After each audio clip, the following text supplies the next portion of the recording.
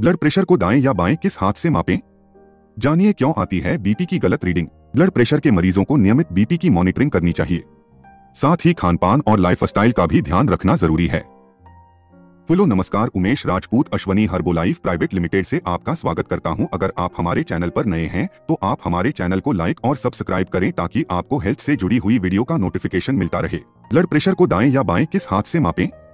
जानिए क्यों आती है बीपी की गलत रीडिंग। हाई ब्लड प्रेशर घरेलू उपचार से भी बढ़े हुए ब्लड प्रेशर को कंट्रोल किया जा सकता है। भारत में रक्तचाप यानी ब्लड प्रेशर ब्लड प्रेशर के मरीजों की संख्या में तेज़ी से इजाफा हो रहा है। बीपी को कंट्रोल में न रखा जाए तो कई दूसरी बीमारियाँ भी हो सकती हैं। डॉक्टरों के मुताबिक हाई ब्लड प्रेशर की तरह लो ब्लड प्रेशर भी खतरनाक है।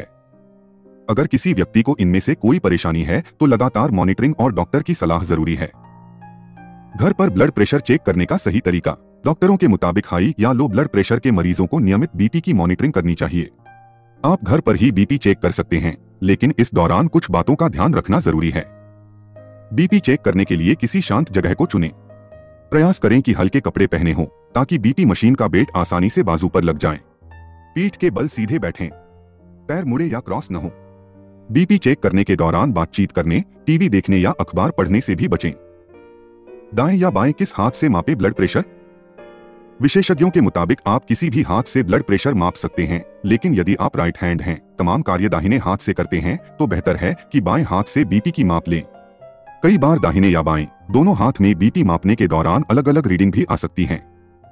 डॉक्टरों के मुताबिक अगर दोनों के बीच 10 पॉइंट से कम का अंतर है तो कोई परेशानी की बात नहीं है। इससे ज़्यादा अंतर घातक हो सकता है। इस स्थिति में डॉक्टर की सलाह ज़रूर लें।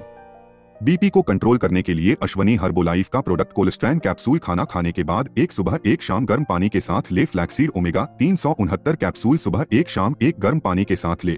अगर आप किसी बीमारी से पीड़ित हैं, कोई हेल्थ से जुड़ी हुई जानकारी चाहते हैं तो आप स्थायी और सटीक इलाज चाहते हैं, आप अश्वनी हर्बोलाइफ पंचकर्मा सेंटर पर संपर्क करें तिरासी नौ सौ सत्तर चार सौ सत्तर पचास website W W W dot Ashwani Herbalife dot com कब आती है बीपी की गलत रीडिंग एक स्मोकिंग के तुरंत बाद। दो एक्सरसाइज या जिम के बाद, तीन तनाव की वजह से चार पेट भरा है तो पाँच तुरंत कैफीन का सेवन किया है तो छह कुछ दवाओं की वजह से भी गलत रीडिंग आ सकती है।